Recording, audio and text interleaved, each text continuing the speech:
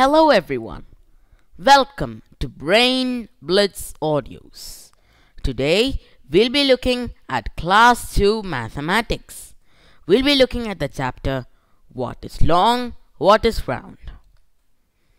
And we'll be discussing things which roll, things which slide and things which roll and slide. Now, you must have played with a ball. If you notice how a ball moves, it goes round and round. This movement of this ball is called rolling. Then you must have been to a playground and slided down a slide. This movement is called sliding.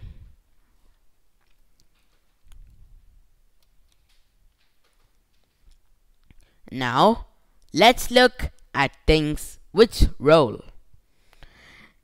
Now, a ball. If we push a ball, it goes round and round, which is a rolling motion. So that means a ball will roll. Next, a lemon. A lemon is a fruit which is round in shape, so it rolls. Another fruit which rolls is apple.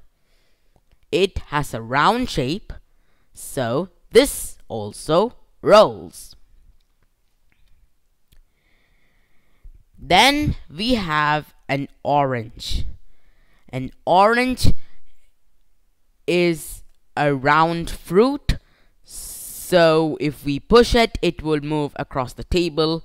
So this is also a thing which rolls. Lastly, we have a marble. You must have played with marbles and if you notice how it moves, it also rolls.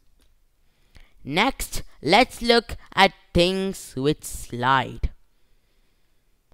Now, a book. If we push a book across the table, it slides. It does not roll. It does not go round and round. Next, we have a mobile phone. Uh, if you push it across the floor, it also slides. Next, a laptop. Uh, if we push this, then it doesn't a roll, it slides. What about a plate? It also slides. Then we have an eraser.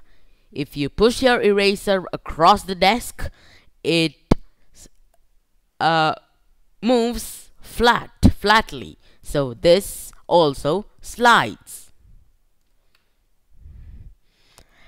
Now, some things can both roll and slide. Let's look at them.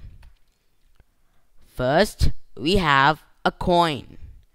Now, this coin, if you put it in uh, this position, then it rolls. But if you put it on the table and then push it, then it slides. Then we have a pencil a pencil, if you push it in the normal position, then it would roll. But when you're writing, it doesn't roll, it slides. If you draw a big line.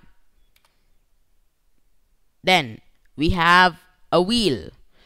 If you notice the wheels of a car, when you're driving, when it's dri driving, then it goes round and round, so the wheel rolls.